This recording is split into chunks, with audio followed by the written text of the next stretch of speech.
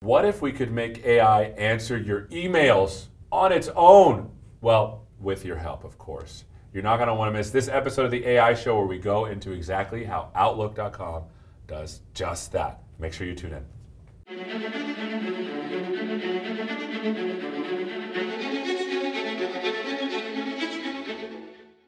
Hello and welcome to this episode of the AI Show where we're going to look at a feature that almost everybody is going to love. I know I do at least. I have Kalyan Abhishek with me. How you doing, my friends? Good, how are you? Why don't you tell us what you do? Uh, I'm a principal PM in the Office org, and my role is to infuse intelligence into our Office apps. Fantastic. And I'm Abhishek. I'm a data scientist in the same group, and we work together. And then it's it's our mission to actually infuse productivity into Office apps. Fantastic. So everyone is always in emails. I know I was in there today responding to a bunch of things. Yeah. Tell us about the feature that you're using AI to help augment. Absolutely. Uh, so I think it's our intuition and also data suggests that information workers and users spend a lot of time reading and responding to email. And one of the critical features that we've designed is to reduce the time and effort it takes for users to read email and respond, especially as more and more information workers are on mobile. We want to reduce that number of clicks that are required to send a, a, re- a response to a re- reply, right? And so we recently introduced a feature called uh, suggested replies in Outlook.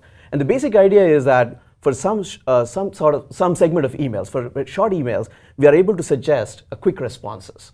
And the user is able to look at the email and see, see some suggested replies and be able to, in one or two clicks, be able to respond uh, to that given email. Man, it's not just like we could just do no, like as a single button and save everybody a bunch of time, but you'd want to be nice too. Yes. So there's a set of responses that we're looking at then, that then we're suggesting based upon the email? Yes. So, gi- given a message, given a, say for example, you got a message in your inbox, an algorithm is able to look at that message and be able to figure out what are the potential responses Seth here might be able to might want to respond to that email with. I see. So that's that's awesome. But my sense is that there's a bit of machine learning or AI going on. Can you describe a little bit about first the data that we're using and then the kind of models that we're building? Of course, of course. So yeah, I mean, I, you're totally um, on the money here. We, there's a very complicated machine learning algorithm behind the hoods, which is taking care of that.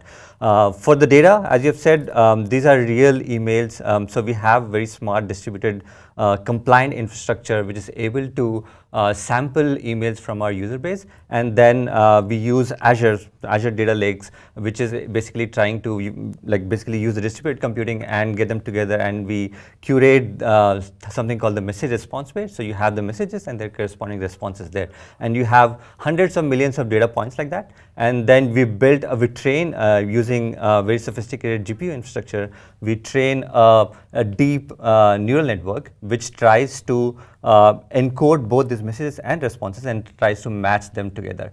Um, so we learn uh, um, a model which is able to do that, and obviously you don't want to uh, predict very arbitrary kind of messages. So what you want to do is you want to uh, only respond with generic messages, which make sense to a lot of emails, so that you uh, do not say any kind of offensive things there. So there's also a controlled response set pipeline. So the messages that we are, the responses that we are suggesting, these are not arbitrary. They are coming from a fixed set, uh, which is sort of curated and makes Microsoft makes sure that they are very generic and they're uh, they uh, they they're aligned to the principles of Microsoft, which is basically to be fair and um, um, impartial to everyone. So essentially, make sure that all these responses are uh, follow those standards, and then only then the machine learning algorithm picks one of those suggestions. So there's a lot to unpack there. There's, I mean, there's a ton of information, and hopefully we'll go step by step. The first one that kind of stood out to me, and hopefully you can hit on this pretty hard, is Yes.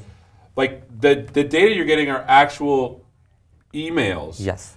Some people might find that to be a little bit difficult to digest. Why don't you talk a little bit about what that process looks like? Because I, I, I feel like people are going to be like, I don't want you reading my Sure, emails, sure. number one. And number two, like, is this happening automatically? Can I opt out? So why don't you talk about those two things first? Of course, totally. Uh, so trust is at the forefront of all of our design principles, right? So I think Microsoft always like goes by trust, and so all of this training is happening in a total compliant and eyes off fashion. So there's no person who's actually looking at those emails. Uh, this all eyes off. It's the Azure Compute is taking care of all the uh, compliance. You have Office 365 compliance certified uh, systems, which is which are in, at which are at play here. Uh, so everything is happening offline. No person is actually looking at your emails. Uh, it's all done in eyes of fashion. Um, people are still again again uh, once you see the feature and if you don't like it, you're always free to turn it off. Um, we love the feature, but you're and we feel and we feel that's very extremely useful.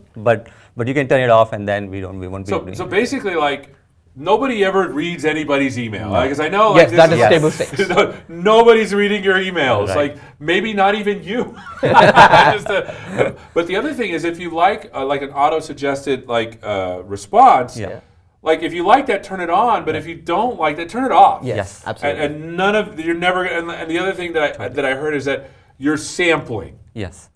so that at random like Yes. so, and so there's no and so again hopefully this makes you a little bit more comfortable as you're watching this because like like for me i i'm i love ai you know you all know this and i'm okay with people looking at my data to build models Right. but a very specific subset and i like being able to know what's being looked at and i like being able to turn off and so I, I like that. That's the first thing.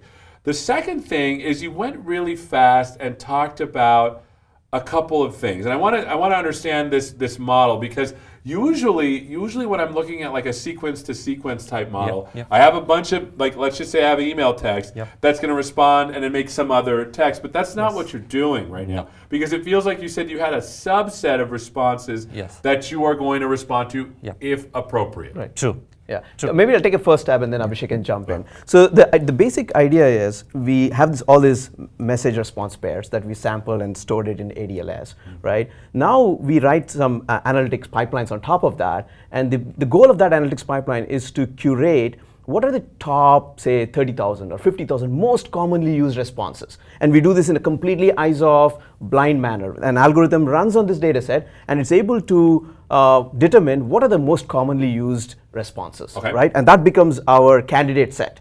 Now, the idea is given any arbitrary email, are we able to select one of these top 50,000 responses as a potential response? Got it. So- So, it's not like a it's not like a sequence to sequence model where you put in a big sequence and like it goes into some latent space and then it responds with what it thinks. You are saying you can only respond with one of these target responses. Is that right? About right? That's totally correct. Uh, there's, there's nuances there, obviously, uh, because we also have experimented with sequence-to-sequence models, but we sort of constrain it to even like the final sequence which comes out. I it see. still belongs to this set.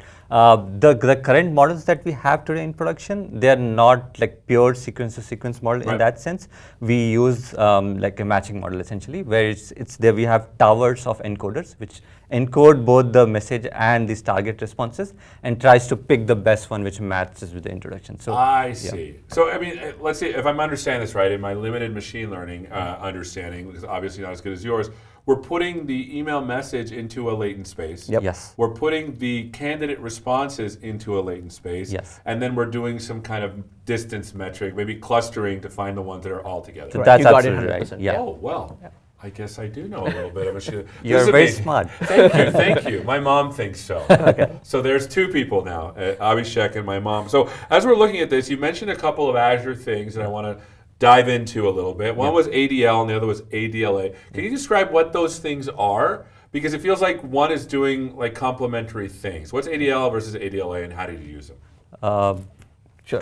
Sure. B- uh, Basically, we use two components. One is uh, we need storage because we have very large uh, user space, right? Uh, and we are trying to make this algorithm work across a lot, uh, uh, basically work across a lot of users. So we need a large amount of data, right? So we sample this large amount of data in an eyes-off manner, and we need a s- storage for that. And for that purpose, we use ADLS. That ADLS essentially gives us GDPR compliance. Basically, we, we have to expire this data every 30 days because uh, those are the GDPR constraints. So ADLS provides that uh, a, a compliance story for us. It gives us la- um, you know agility to uh, basically write jobs against that storage and uh, build the MR pairs, which are message response pairs. So we use AD, ADLS for storing and for compliance of this data. So at rest, it's encrypted so that you know uh, there is no data leak or data theft around that. So, so ADLS basically takes care of that. On top of that, we have we have this analytics pipeline that we write, uh, which essentially uh, does a lot of filtering, curation, and transformation of this basic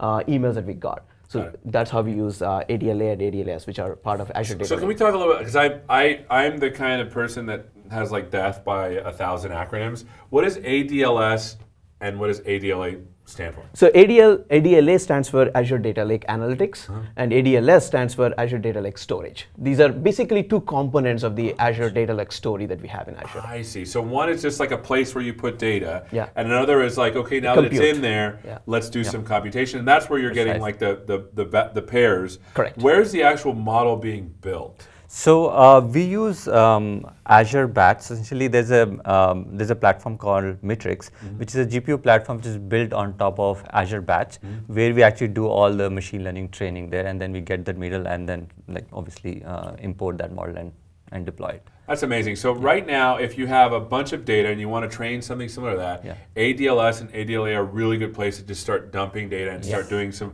some data cleaning, which Yep. sounds pretty impressive to me. So are there any other takeaways that you want to give before we, we sign off? Sure. I think um, for if I ask my data scientist, like you know, how, what is your experience on Azure? I think the, the a couple of things really pop out. One is Azure gives us enormous amount of agility, right? Even for like uh, a, a, a data scientist has a, has a you know uh, a quick idea, he can test it out with some you know 5,000 emails, right? Like you know, this could be personal emails that you can dump it on a on a VM and be able to test it from anywhere in the world. So I think it gives you that inner loop agility. So I think uh, that's a great takeaway from uh, from our experience uh, working on Azure for this project. The other one is Azure actually takes care of compliance for us. So we know that by storing our content in ADLS or Azure Data Lake, uh, we are GDPR compliant, right? We Got don't. Uh, there is no. There is just-in-time uh, escalation of credentials to access the data, for example, if you, for that experiment. So all, all the goodness of uh, compliance comes uh, out of the box. The third one is um, uh, is basically around um, Scale. scale. Yeah. Because now we can basically uh, uh, um, uh, auto auto scale how many more GPUs that we want uh, based on demand and uh, experimentation workload. This is pretty amazing. Uh, where can people go to find out more about the work you're doing? Uh, Do we have like a blog? Is there like an office blog we can go to? Yes, there is a blog on suggested replies. So just go to Bing and search, search for suggested replies in We'll, we'll find it and we'll put a link below Yeah, so yeah, everyone sure, I, I yeah. feel like I put him on the spot there. we, could have had your. or, or, or actually just go to outlook.com and just start using. You you'll see our, our feature live. That's pretty amazing. Well, thanks so much for spending some time with us. Yeah. Uh, we've been learning all about uh, the suggested auto reply. Is that what it's called? Suggested auto reply. It's called suggested replies. suggested replies in Outlook. Hopefully you'll use it. If you like it, let us know. Thanks so much for watching, and we'll see you next time. Take care. Thank you. Thank you.